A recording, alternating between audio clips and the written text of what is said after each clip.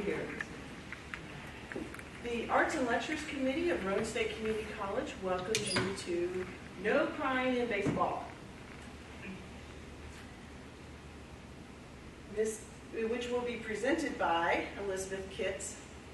She is an assistant professor of history at Roane State. Not only does she have a love of history, she also loves movies and baseball. That goes around in her life and in her teaching. She even works with her students to look at historical events and put them up against the action and the fictionalization that comes from Hollywood movies. It's one of their favorite activities, I think you said, that they really enjoy doing that. The movie A League of Their Own fits this perfectly. If you do not know anything about it, it is at a time when young men were unavailable to play baseball. And what is the nation to do? If you saw some of those posters around, it said, What's a nation to do without young men to play baseball? Elizabeth Kitts is going to help us answer that. The movie helps us answer that. Or does it? She's going to take us behind the big screen into the things that happen before you ever get to be entertained by a movie. And if you'll help me welcome Elizabeth Kitts, here you go. Thank you for that, and thank you guys for being here tonight. Um, whether you're motivated by being related to me or for the extra credit, I am delighted you are all here. Um, if you just came in and you need to sign up for extra credit, those sign-up sheets are over there. You can hit them at the end before you leave. So we're going to talk tonight about the All-American Girls Professional Baseball League. That's what the AAGPBL stands for. Um, so the All-American Girls Professional Baseball League. And a lot of people know the story of the All-American League, as we'll probably shorthand it for the rest of the night, from the movie A League of Their Own. And it's one of my favorite movies. It's an older movie. Some of you may not have seen it. It came out in the 90s. Uh, but it tells the Hollywood version of the All-American Girls League. And the All-American Girls League was formed during the war to fill the gap when men went to fight, women played baseball. And the most famous scene from the movie is where our title comes from tonight, There's No Crying in Baseball. And if you've seen the movie, you know Tom Hanks, who's berating one of his players. Are you crying? There's no crying. There's no crying in baseball. Uh, and so it purports to tell the story of the league. But what we're going to see tonight is one of the problems with this movie, and I love this movie, is that it leaves the false impression that once the war was over, the league just went away. When the men came home from the war and went back to playing baseball, the All-American Girls League just dissolved. And that's not the case. They actually hit their highest rate of popularity in 1948, and they played well into the 1950s. So that's what we're going to see tonight is how the league was formed, how they developed, um, and then how they continued into the 1950s.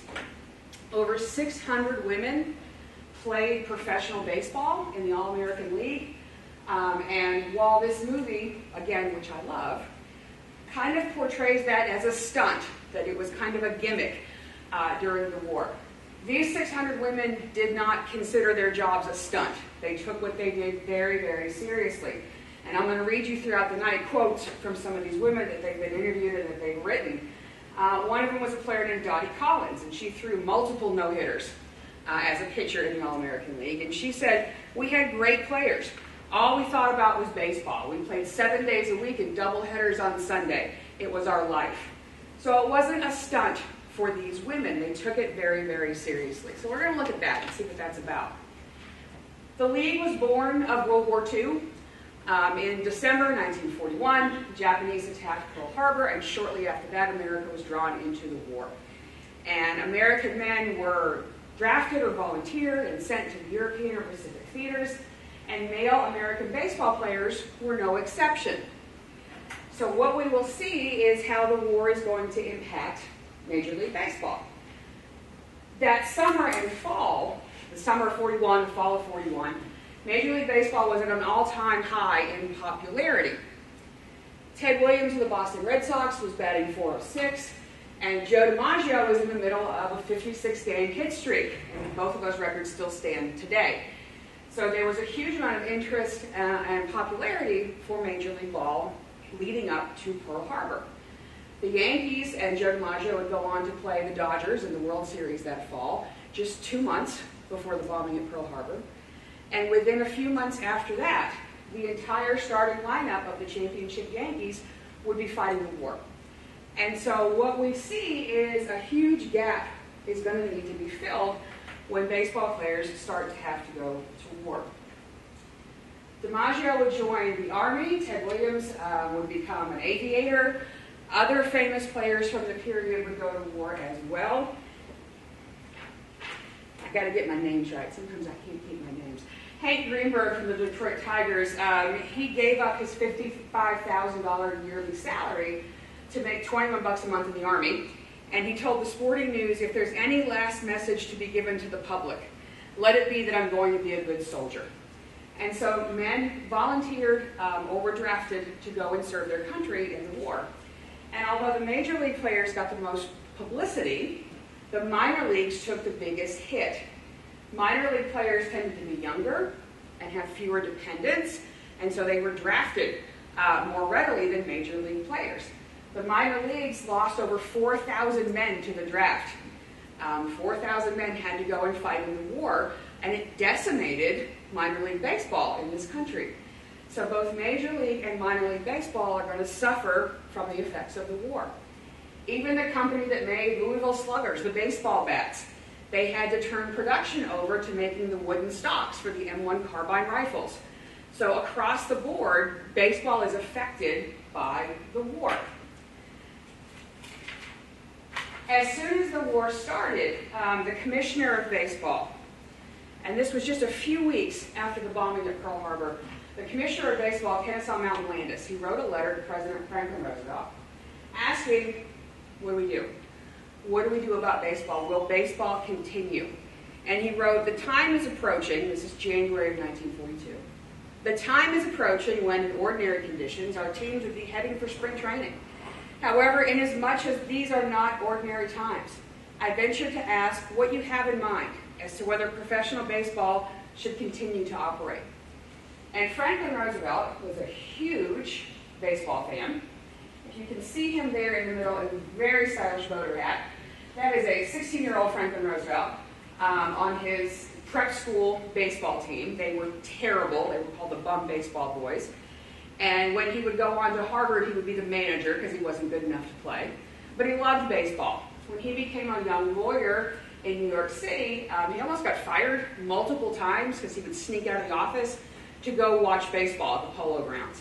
So he was a huge baseball fan. Once he became president, he threw out a record eight opening day pitches, more than any other president. So he was a huge fan of baseball. You can see this is from 1934, opening day 1934, and you see in the corner, there's a Red Sox. They won that game. So Roosevelt wrote back the next day. He didn't waste any time writing back to the baseball commissioner um, to say that baseball had to continue. And it's the so-called green light letter, where Roosevelt is explaining why we continue, why we have to have baseball, even though we're at war. Why is it so important that we continue to have baseball? And he said, I honestly feel it would be best for the country to keep baseball going. There will be fewer people unemployed, and everybody will work longer hours and harder than ever before. And that means they ought to have a chance for recreation and for taking their minds off that, their work even more than before. If 300 teams use 5,000 or 6,000 players, these players are a definite recreational asset. That's how he viewed baseball.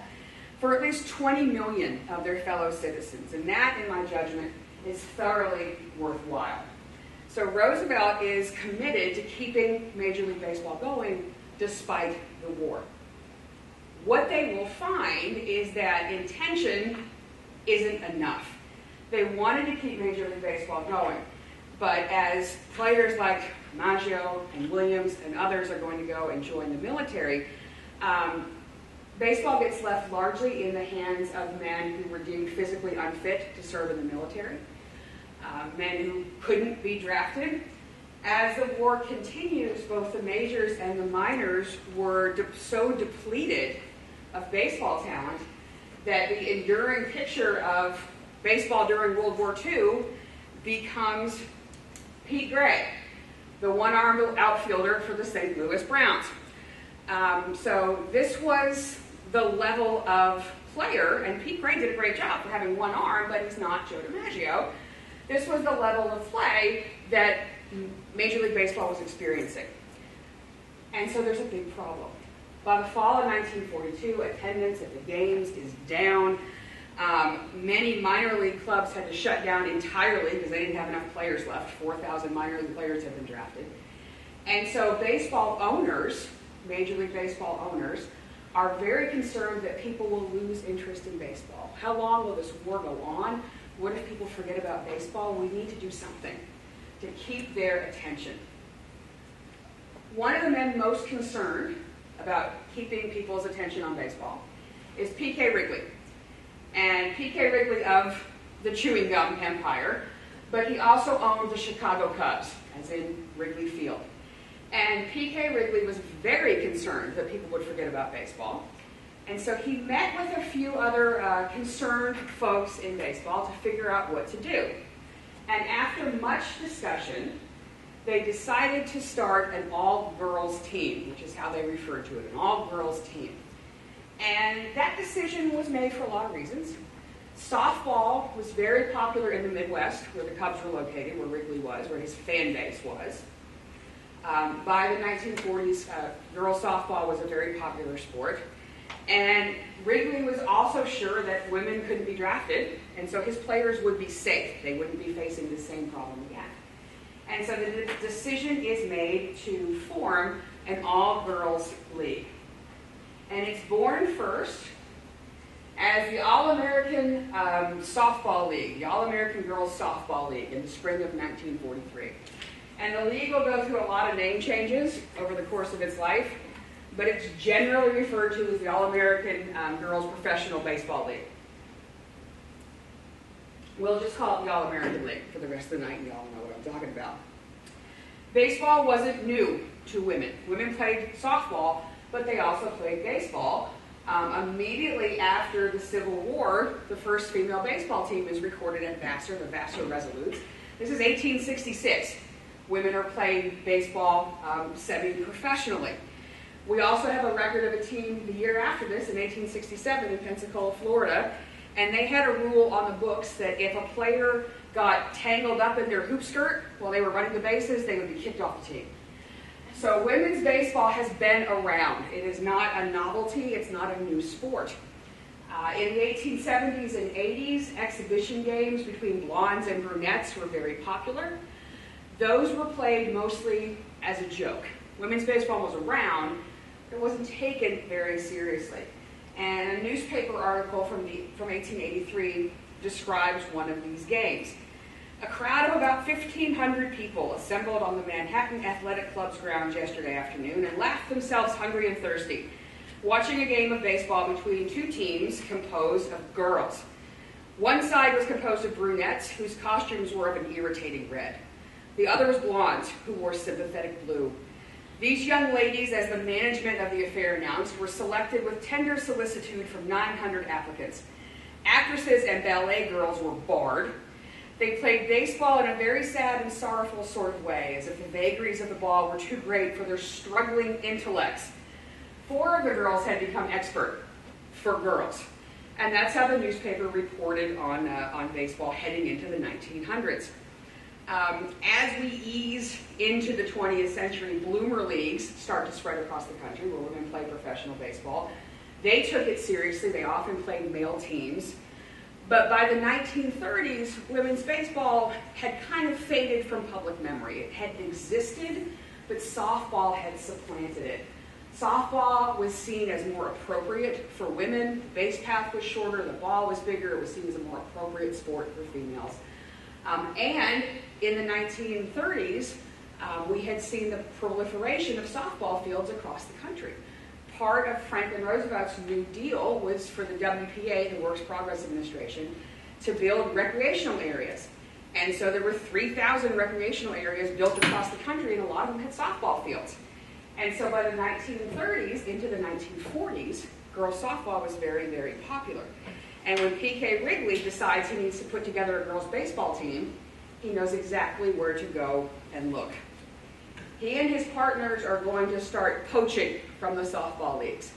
Um, 40% of their players are going to come from the Amateur Softball Association, and so he knows where to look to go find good players. The game that he envisions is a hybrid of baseball and softball. In the early day, early years of the league, excuse me, in the early years of the league, the ball starts a little bit bigger and the base paths are a little bit shorter. And then by the end uh, of the league, when it, when it finally goes under, um, it looks a lot more like baseball. The ball is the same size, the base, base paths are almost the same size. And so it becomes much more like hardball baseball than softball that women were expected to play. Wrigley used his existing scouting network. He owned the Cubs, so he has a built-in infrastructure. He used the Cubs scouting network to find players across the U.S., across Canada. Um, they went to high schools, they went to churches, they went to factories looking for women who played baseball. Most of them were between 17 and 22, but some were as young as 14 um, that were recruited to come for a tryout. The league was only open to white women. Um, so it was a segregated league. When Major League Baseball integrated in 1947, there was discussion in the All American League should we integrate as well, but they never did. Uh, it stayed an entirely segregated, whites only league for its entire history. Um, some black women tried out uh, or went to the tryouts and weren't allowed to try out. There's one instance where um, one uh, African American player was allowed to work out with the team, but they weren't allowed to be a part of the league. And so black women had to go and join the Negro Leagues and play with men. And, and that's who you're looking at there. Um, that's Toni Stone and Connie Morgan uh, and Mamie Johnson, who were three of the famous women who went and played with the Negro Leagues. So our All-American League is going to remain an all-white league. Competition was very strenuous to get into the league. Interest for trying out was high because Wrigley was paying really well. Wrigley was offering his players between 45 and $85 a week. $45 was more than a teacher made in a whole month. And so a lot of women were very eager to come try out just because it paid so well. Tryouts were held um, across the country. And four non-major league teams, or four non-major league cities, excuse me, were selected to be the host cities for the teams. Um, those cities were Racine and Kenosha in Wisconsin, Rockford in Illinois, and South Bend in Indiana. And you can see on my handy dandy map here, um, that's Chicago. So the cities that we're going to pick are close enough to Wrigley and his, his Cubs machine um, that he can run this very easily, and that was done deliberately. Wrigley agreed to fund half of the operating costs for all the teams, and the home cities agreed to pick up the rest, and the league would be run as a nonprofit.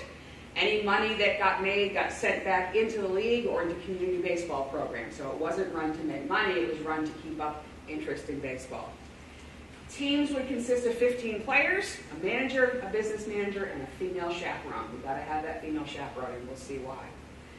Wrigley and his partners believed that recruiting former Major League Baseball players to be the managers would give the league more validity. It would, it would increase interest in coming out to see the games. Uh, and so famous players like Jimmie Foxx and future Hall of Famer Max Carey will be managers in the All-American League. The players are female players. They sign contracts with the league, not with individual teams. And that means they can be traded anywhere, anytime that anybody thought was necessary in order to keep the teams balanced and in order to keep up a high level of competition. Regional tryouts were held. Um, if you make the cut in your regional tryout, you get invited to Chicago for the big tryouts. And for a lot of these girls, and a lot of them were girls, this was their first trip away from home. One player said, I had never ridden on a train, and I sat up all night in a Pullman car because I did not understand how that seat was going to be my bed. And so for a lot of them, it was their very first time away from home. I was 14 years old and had been raised on a farm. The tryouts were awe-inspiring, and they kept us very busy. We stayed at the Belmont Hotel not far from Wrigley Field, and my mother came up for a few days and stayed with some friends. And after that, she went home. I was very homesick. And she said, Well, you can come home with me and everything will be all right, or you can stay. I wanted to play ball so bad I stayed. The other players took me under their wing and mothered me, and I got over the homesickness. I liked playing ball so much, I just wanted to play. And I was so young that the thought never crossed my mind that I wouldn't make the league. Course, she went on to make the league. Um, spring training started in May of 1943 at Wrigley Field. And so for a lot of these women, just being able to be on the field at Wrigley was the experience of a lifetime. The tryouts were very rigorous. They tested fielding, pitching, catching, all of the skills. And they finally settled on 60. 60 women who made the cut and were signed to professional contracts. So Wrigley has created this new league along with some partners. And one of the main purposes is to keep interest up in baseball. But the other thing he wanted to do with the All American League was to serve a patriotic function. He wants the league to represent America during wartime to keep morale up on the home front. And Wrigley, PK Wrigley was very well known for his support, his financial support, his business support of the war effort. Um, he had, at one point, donated all of the aluminum that he used to wrap his gum to the U.S. government. He had the men who were supposed to be out drilling in trees for gum to make his chewing gum go drill for rubber instead to help the military. And he had donated his very elaborate light system from the Wrigley Building in Chicago to the government so that it could be used for military purposes. And by the end of the war, he had turned over production of all of his chewing gum product to the military. So all the gum went to the soldiers. So he was well known for supporting the war effort. He expected his players to do the same. That drove the selection of these cities. Not only are they close to Chicago, but these four cities were war production cities. They had factories. And Wrigley wanted to have a team in each of these cities so that folks who worked in the factory all day making supplies for the war could go enjoy a game at night. They could have something to look forward to. He also chose them because they were close enough. You could drive and not waste your whole ration of gas. Gasoline was rationed, and so you had to be very careful about how much you traveled. So for all of these reasons, Wrigley picks these cities, uh, and a lot of it is to reward these factory workers. He wants them to have something to look forward to. The girls in the league, and that's how they were referred to as the girls, the girls in the league were expected to do their patriotic duty. They hosted blood drives, they visited hospitals, um, they posed with soldiers, they played um, charity games, and before every game, they made the V for victory sign before the national anthem was played. And so he viewed this not just as a tool to keep interest in baseball up, but as a mechanism for patriotism. Let's keep morale up in the entire country as well. And so the girls were expected to, uh, to participate in that. A large part of Wrigley's appeal to patriotism was deliberately crafting his players as the All American Girl Next Door. It's the All American Girls League, and his players are going to be All American Girls. He deliberately set out to distance his players from female softball players. Softball was popular, but female softball players didn't have a very good reputation. Um, they were often portrayed in the press as too masculine or tomboys or worst of the worst in 1940s America as lesbians. And Wrigley didn't want that perception in his brand new baseball league. And so he's going to take some pretty drastic steps to make sure to distinguish softball players from his baseball girls. He wanted what he said girls that looked like girls. So he's very much going to stress they have to be as feminine as possible.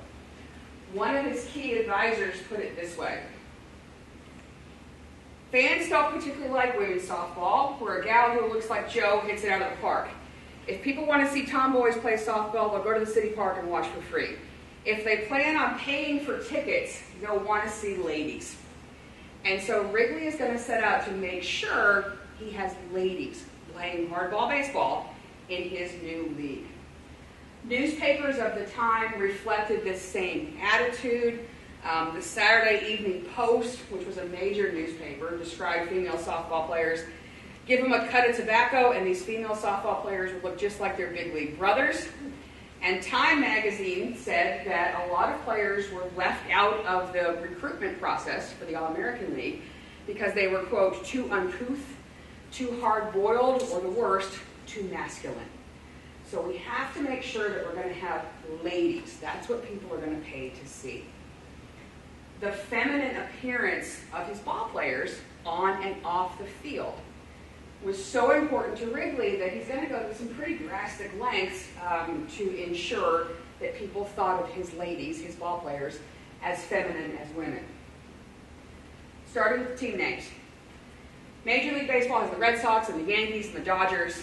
The All American League has the Daisies and the Belles and the Peaches, not to mention the Colleens and the Sallies and the Chicks.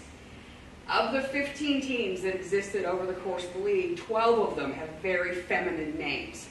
Uh, and again, that was very deliberate to drive home this is a league of ladies. They're ladies first, and ball players second. Um, so these were deliberate choices made in, in the naming. In the movie, A League of Your Own, it's the Rockford Peaches, is the main team that's featured in that movie. Wrigley also wants to make sure that the whole feminine my players are ladies idea is put forth visually. So they're going to play in dresses. Softball players wore pants or shorts. His players in the American League are going to wear one piece tunic dresses that were modeled after field hockey uniforms from the period. Um, you wore silk shorts underneath. There's a little belt, and your skirt better be six inches above your knee. Our female baseball players, as you might imagine, were reluctant to play baseball in this.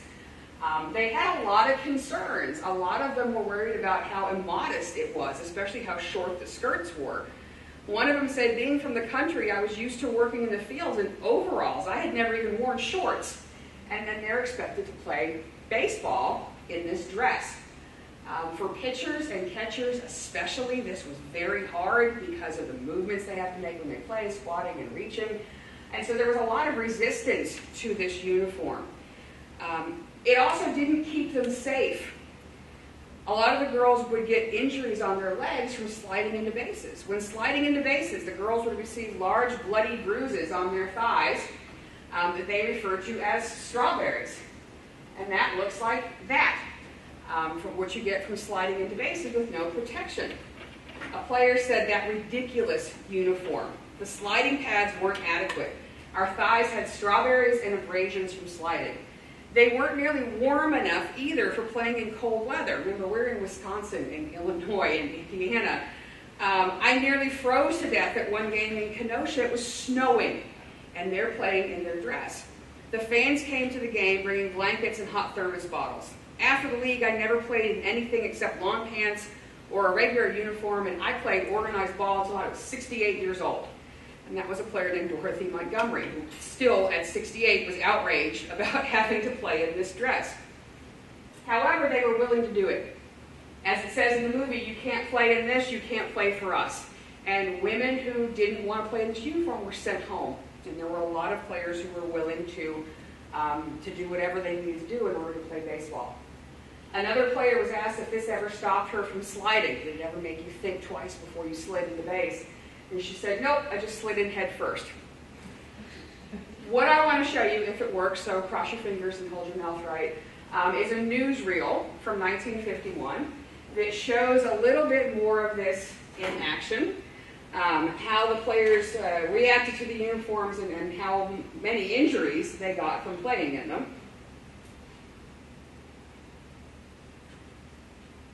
Looks promising. Fingers crossed. Baseball brings out the All-American Girl Baseball League for spring training in Alexandria, Virginia. Two teams are working out, the Fort Wayne Daisies and the Racine Belles, getting in shape for an opening day doubleheader. Dottie Schroeder is quite confident that her hair won't get in her eyes. And keeping her eye on the ball is catcher Kate Vonderau. Okay, gals, play ball. Pat Scott has quite a curve. But this one is wide, and Jean Marlowe is willing to wait. Jean bunts the squeeze is on. Tiby Eisen slides home with a run and a nicely bruised leg. Better a bruise than long pants, eh, gals?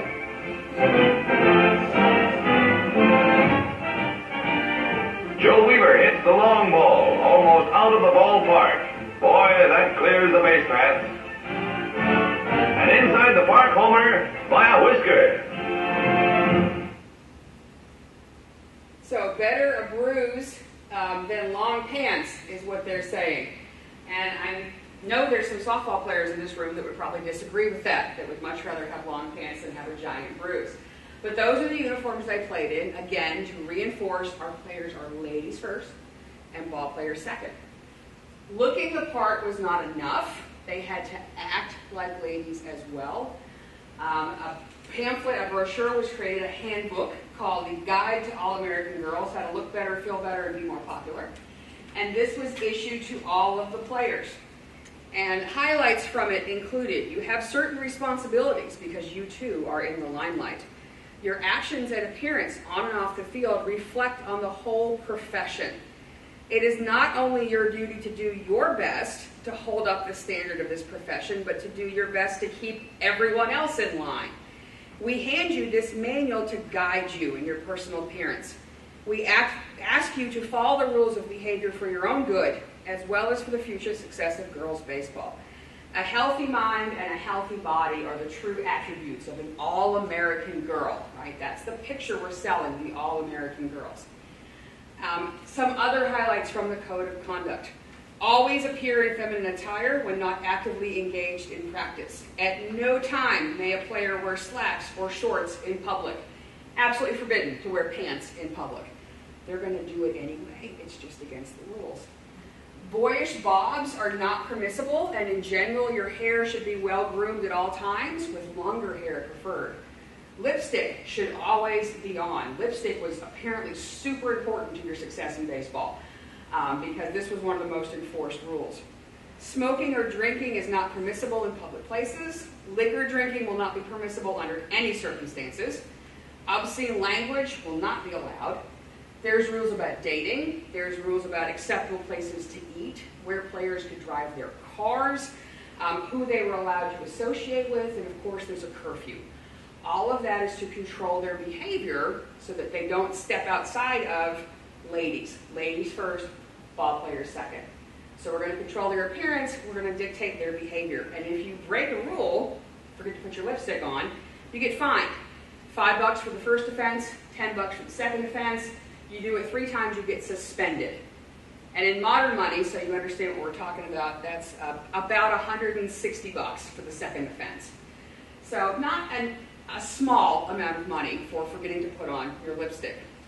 One player remembered um, that she was stopped on the way to the batter's box in the middle of a game, a tight game, tense game. She's on her way up to bat, and the female chaperone stops her to put on her lipstick because she'd forgotten to put on her lipstick. So in the middle of the game, even these rules were enforced.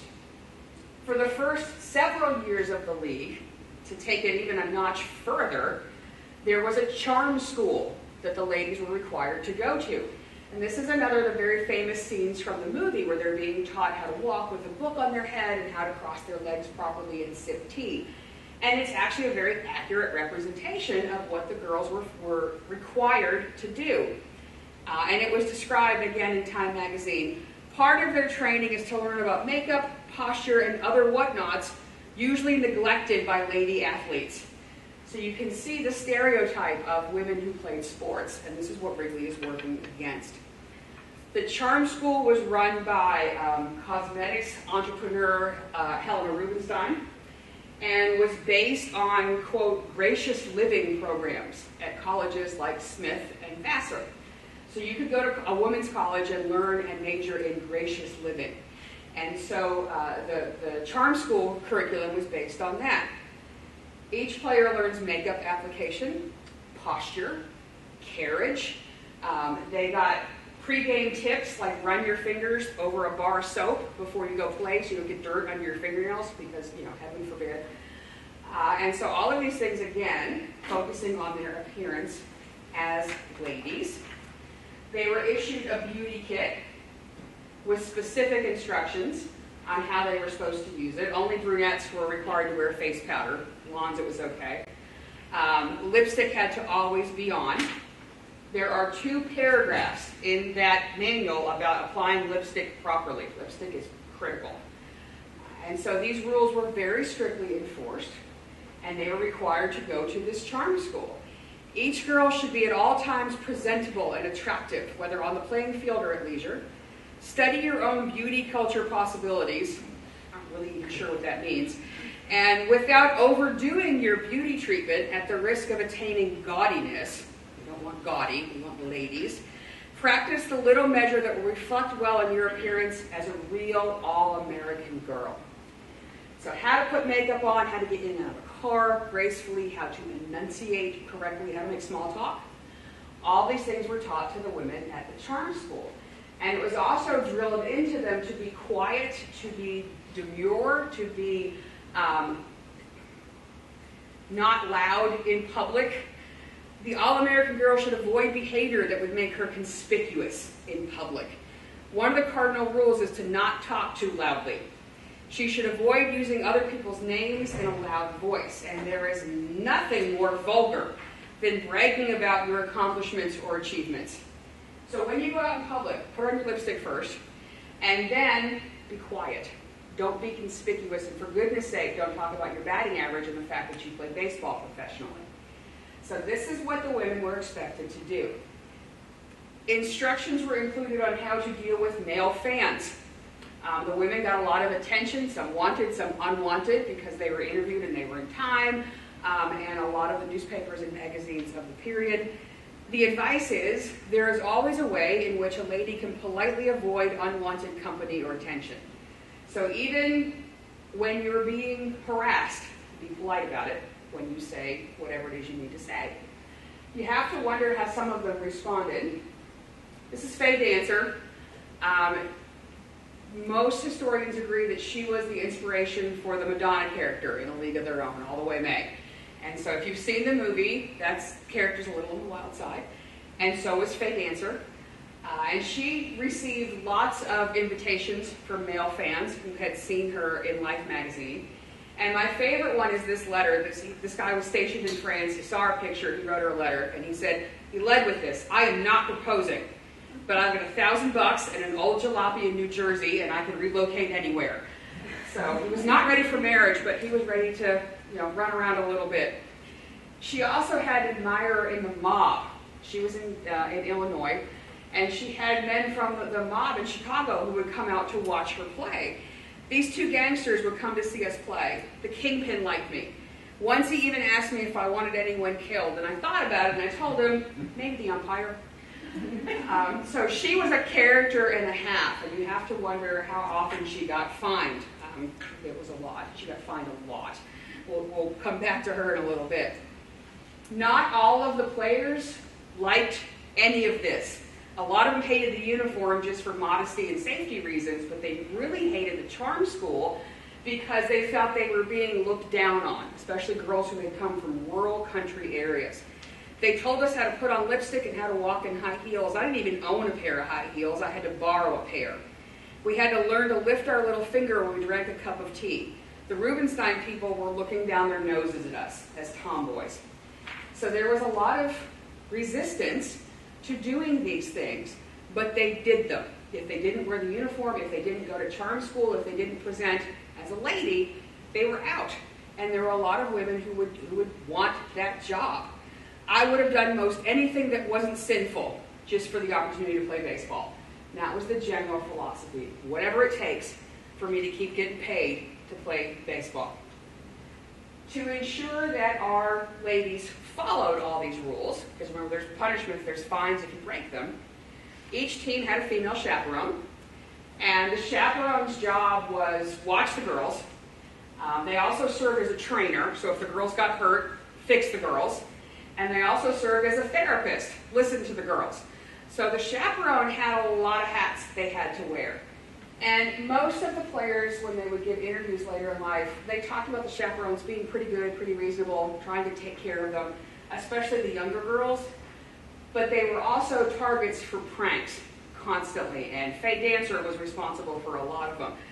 Um, she would initiate new chaperones by coating the light bulbs in their room in very, very smelly cheese, so that when you turn the light bulbs on, the heat makes your whole room smell like terrible cheese.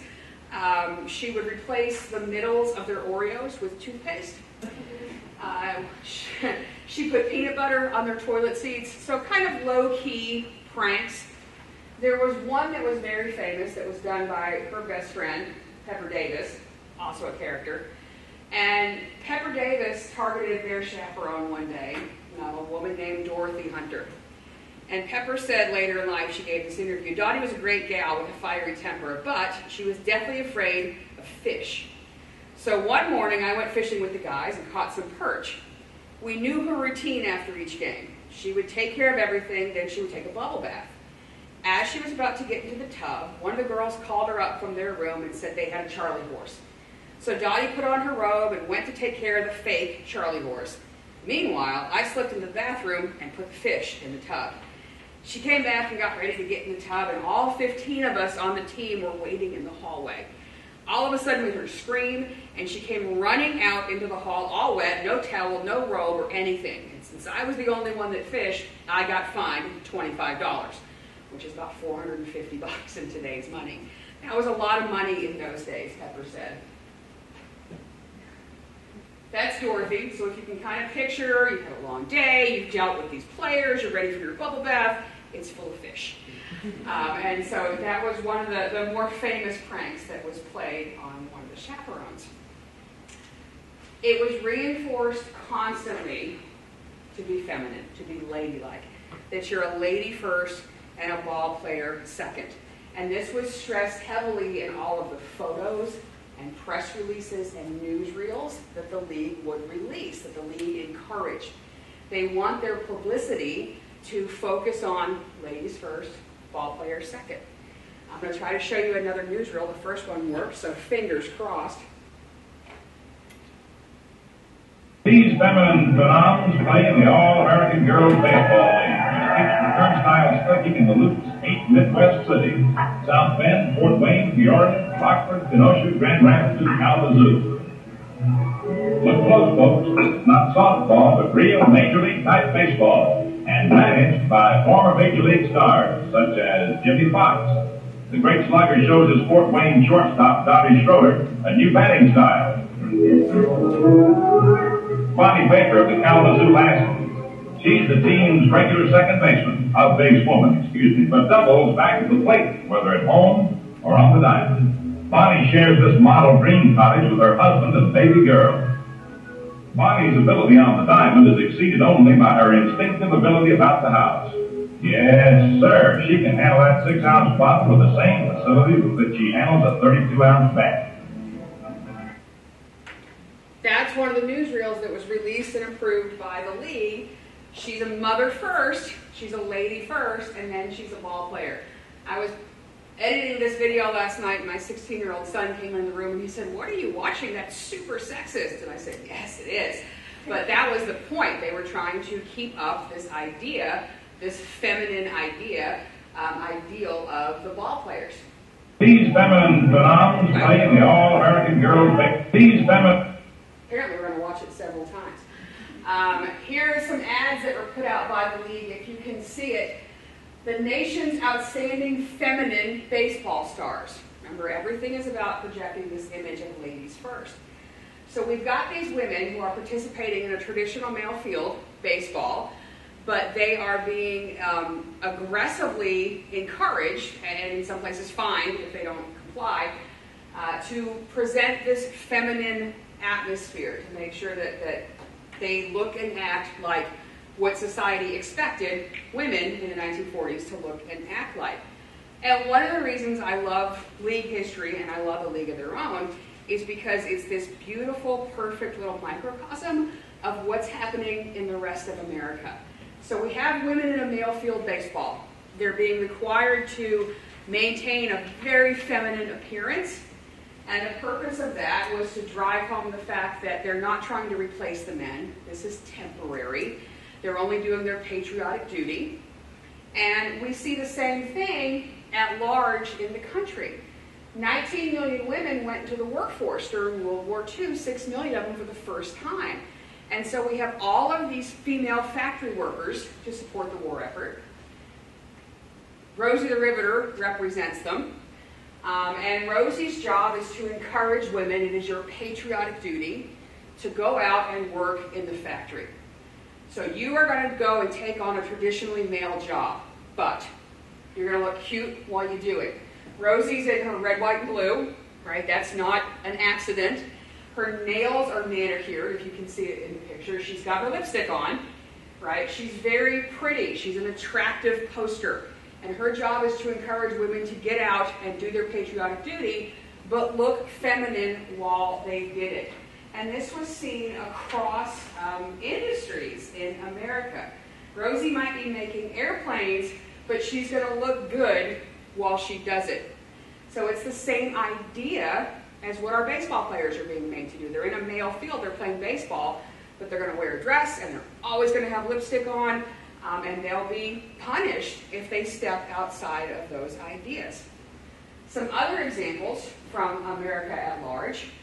Beauty line, assembly line. They're making electrical sub-assemblies. So this is a factory, but we lead with beauty line, assembly line. Photographers would go into, um, into industrial factories and look for the prettiest workers they could and take pictures of them. One of the biggest wartime employers was Boeing on the West Coast. And Boeing employed 50,000 employees during the war, half of whom were women. A big chunk of Boeing's workforce was women. Um, and they had a fashion designer come in to make work uniforms just for the women so that it would remind them that they needed to be feminine. Boeing called it their FQ, their femininity quotient.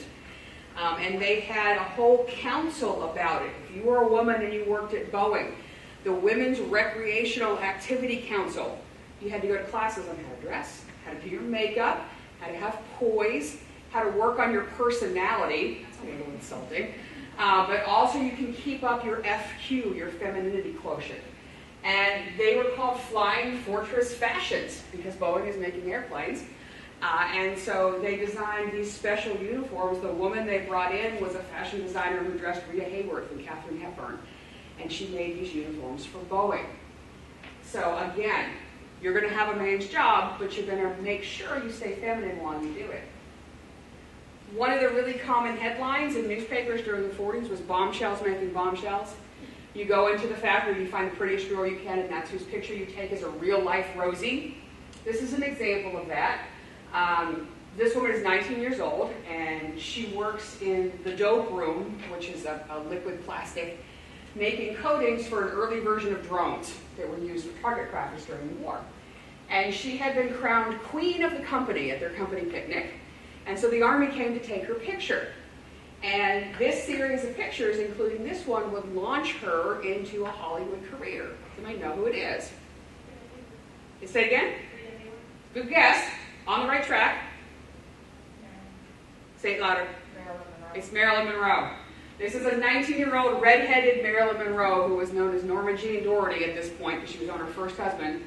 Um, and this is what launched her into modeling and then into acting and away from husband number one and on to many more husbands. Uh, but she was a real life Rosie. This is how she was, was started. And so she's a good example of bombshells making bombshells. You find the prettiest girl you can and take their picture.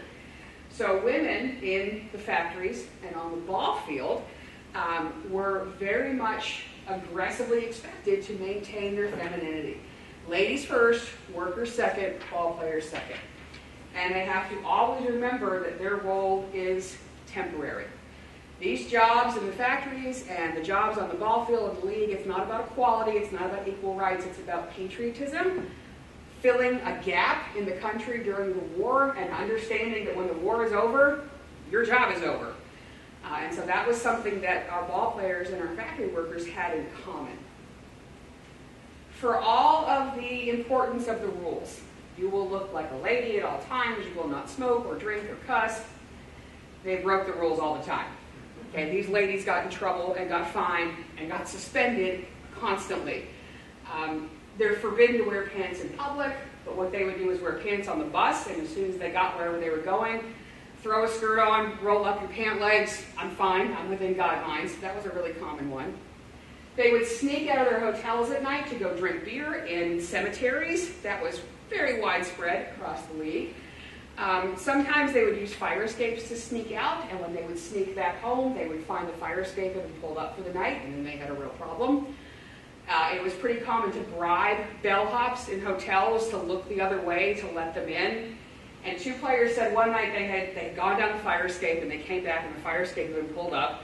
They have to sneak into the lobby and they bribe the bellhop to look the other way. And they get to the elevator and the elevator doors open and there's their manager in the elevator. And he looked at the two of them and said, I hope you can play tomorrow. And that was it. And he let it go. Um, but they snuck out and got into trouble all the time. Two players once rounded up some local prostitutes and tried to convince the manager that the new rookies had arrived. Here's your new rookies. Um, that didn't go over very well. My favorite story is one girl got suspended because she kept having seances in the locker room. And not just regular, I don't, is there a regular seance? Is that a thing? But not just normal, I don't know what the right word is there. Not just typical seances, um, but she was, everywhere they went, she was stealing glass eyes from carousel horses and using them in her seance rituals in the locker room. So she got suspended for that because that's, let's face that's a little on the weird side. Um, so, but they broke the rules all the time. Faye Dancer, remember Faye Dancer who played the pranks and, and, and had the mob boyfriend? Um, she had a problem one day. She'd been out partying the night before and she dropped, for whatever reason, a lit match into a bottle of whiskey, which of course exploded, and burned her pitching hand very badly. So she goes to pitch the game the next day with her hand all bandaged up, and the batter had been with her the night before. And the batter turned to the umpire and said, She's got to take that bandage off. That's going to interfere with pitching, and it's not fair, and she needs to take it off. And so they made her unwrap her hand. So she had to pitch with an unbandaged, very badly burned hand and she got her revenge by immediately throwing at that girl's head. Um, so these were not delicate flowers, right? These were ball players. And they took their jobs and they took their, their after, uh, after hours life very seriously. Initial reaction to all of this, to the league, to female players, to their uniforms, to the charm school, was really mixed in society. At first, male reporters especially would make fun of the players, they would make fun of the uniforms, um, and they would say that the women would win games by flirting with the umpires.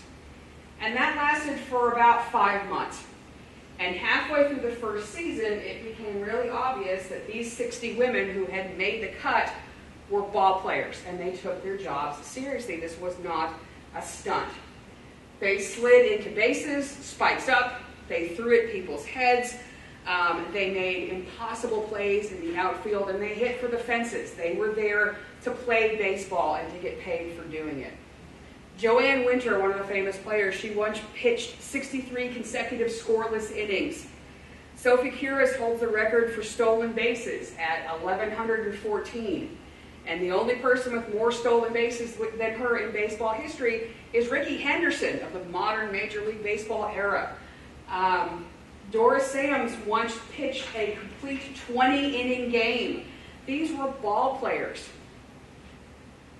Jean Faut threw two perfect games in her career. In 1952, she went 20 and 2 and finished the season with a .93, .93 ERA. She gave up 19 runs the whole season in 22 games. Her career ERA was 1.23. So they were not just ball players, they were good ball players. They were good at their job.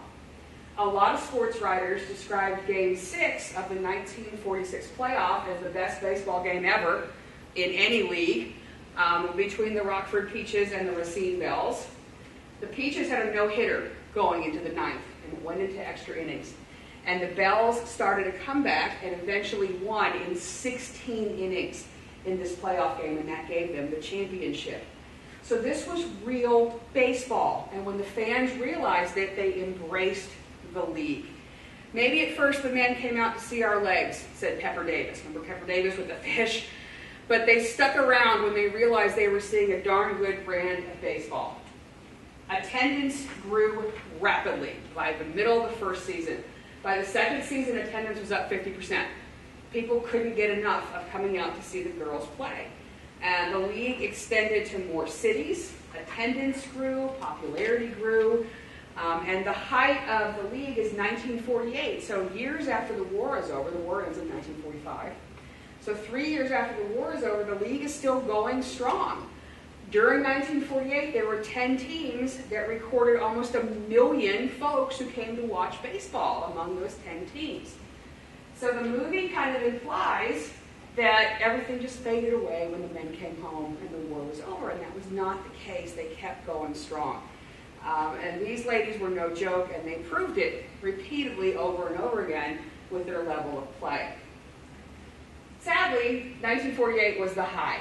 That was the height of the league. Um, and after that, it began to decline for a couple of reasons. One was a change in leadership. It became harder to recruit. Uh, P.K. Wrigley had turned over running the league to one of his advisors, and when that advisor stepped down, things went downhill very quickly. One of the big things that kills the league is television. The war is over. The men have come home and they've come back to Major League Baseball. And now you can watch that on television in your own house. Television had such a huge effect on sports because it lets you be a fan without living in a city that had a team. You could be a Red Sox fan and live anywhere you could watch a Red Sox game. You could be a Yankees fan and live in the South. Um, and so television had a tremendous impact on sports, and it really hurt the league. People could watch men's baseball on TV, and they didn't need to go out and watch the Belles or the Peaches or the Daisies play a live game anymore. The other thing that killed the league, and it's probably the most important factor, was the men came home. And women were expected to go back to what they were doing before the war, right? Ladies first, ball players second. And we see this with factory workers too. Men came home, they get their jobs back, women go back home. The same thing's going to happen to our baseball players. The men come home, Major League Baseball resumes at full strength. Um, and women are expected to stop playing baseball, hang it up, and go back to doing um, your what you're supposed to be doing. By 1954, only five teams remained, and the league could not continue. But over its lifespan, over its 12-year lifespan, over 600 women played professional ball at a very high level in the All-American Girls League. When it folded, when the league folded in 1954, it was like it had never happened. People forgot all about it. Pepper Davis said she had to give up trying to explain to people about her baseball career because nobody believed her. Nobody believed that women at one point had played professional baseball. And so the women moved on, they went to school, they got married, they, they had children, um, and people forgot about the All American League until the 1980s when one of the players started a newsletter. I'm going to reach out to my former teammates and see what everybody's doing. And the newsletter caught on among a lot of the other players, and this revival of league history happened. And by 1988, the Baseball Hall of Fame in Cooperstown presented an exhibit on women in baseball, and interest in the league started to explode. Four years later, a League of Their Own was released. Uh, and Americans, a lot for the first time, learned that women had played baseball in World War II. A lot of interviews have been done with these ladies. I've had the, the pleasure to meet one of them who played for the Fort Wayne Daisies. Um, and they get together every year. They have a big reunion. The ones who are left, they're getting a little bit up there. Um, but they have a reunion. This one's for 2019, and they sing their song. We're the members of the All American League. They sing their little victory song, and they reminisce, and they just generally they party. They absolutely party. I've heard the stories. Um, last year and this year were canceled because of COVID. These ladies are in their 80s and 90s, and we need to protect the ones who are left. But they interview these women regularly about their time in the league. And a lot of interesting data comes out of these interviews. 35% of these women went on to college after they were done playing baseball. And if you compare that to the rate of women who didn't play baseball, just everybody else, it's 8% for women who didn't play ball. So the women who came out of the league, 35% of them went on to go to college, which is a big chunk. 14% of those got graduate degrees. Um, they became doctors and dentists and lawyers and teachers. They became professional athletes in golf and in bowling. Um, their children would go on to work in Major League Baseball. And almost all of them agree that this was the best thing that happened to them.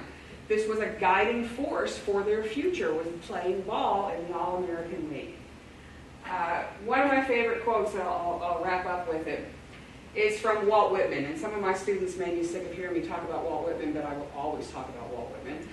Walt Whitman said in 1888, baseball is our game, the American game. I connect it with our national character.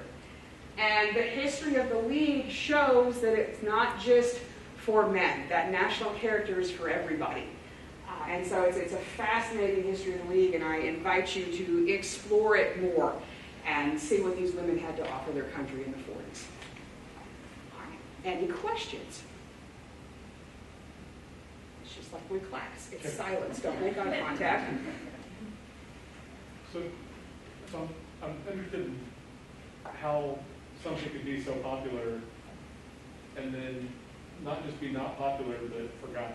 But vanish. Yeah, it just vanish. There's a huge movement in the 50s, um, and spoiler alert for my students, we haven't gotten there in class yet, in popular media and print media and, um, and radio for women to go back home. And you see it in magazine ads, and you see it in Father Knows Best, and all of those sitcoms from the 50s, right? And so it became not acceptable anymore for women to do this, and a lot of them didn't want to talk about that they had done this. That was the kind of the mindset in the 50s. Make sense? Good question. Anything else? How did the men react to these women taking over baseball? Like, were they happy or? Which specify which The men? Soldiers. Ah, that's a good question. Had to leave. The soldiers, for the most part, liked it. Uniformed soldiers got in free to the games. Um, the women were forced to interact with them for, for publicity purposes. Uh, and so women's baseball was really popular, especially among the enlisted. The male baseball players kind of thought it was like major league players like Teddy Williams and, and, uh, and DiMaggio kind of thought it was cute. Um, that they'll look at these women playing baseball. But for most of the enlisted men, it was very well received. Good questions. What else? Did I get in under the time? I think maybe I did. Oh, it's 7.03, it's so close. Any further questions? Yes? Were all of the managers above draft age? Um, yes, because they wanted to get former, former major league players. Um, and there was a huge pushback against the idea that major league players might be exempt, that their draft status might be changed, and they could stay home. And so Kenesaw Mountain Landis, the baseball commissioner, was very, very careful to not interfere with men being drafted at all. And so the, the male managers were, were older or had injuries and couldn't serve. What else? If there's no more questions, oh, where? I don't see. Raise your hand up, be really big. Yes, okay. Uh, is there any kind of like movement to bring this kind of thing back? yes, um, actually, the, uh, the All American Girls, they have a terrific website full of great interviews and, and newspaper clippings and all kinds of stuff. And recently, I think 2019, they have formed the um, All American Girls League, which is kind of the revival of this to bring back women in baseball. Um, and they, they had a presence at, I can't remember what year it was, but the, the Little League World Series. Mo'ne Davis, um, the girl pitcher who came out and kind of was a, a phenom at that World Series. And so they're building on the much more visible participation of women in sports to try to bring back women in baseball. That's a terrific question. What else? I don't want to miss anybody. I left my reading glasses at home, so I'm basically blind. So I can't see you. Yes, Uh, is there any other sports that you know that did this? that's a really that's a really good question that I don't know the answer to. Um, the, if you couldn't hear, the question was: Were there any other sports that created female leagues to replace male athletes? Uh, and I don't know. I don't know the answer to that, but that's something that I will look up. That's what I always tell my students. You're going to ask me questions I don't know the answer to, but let's look it up and find out. So I don't know, but we can find out. What else? All right. if there's no more questions, um, thank you all very, very much for coming. Did you need to Well, let's talk to you first.